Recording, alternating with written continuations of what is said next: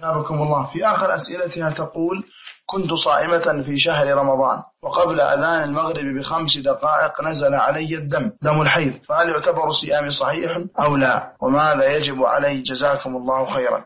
إذا المرأة الصائمة إذا نزل عليها الحيض قبل غروب الشمس فإن صومها يكون غير غير صحيح يبطل بخروج دم الحيض لأنها لم تكمل هذا اليوم عليها أن تقضي بدله. No.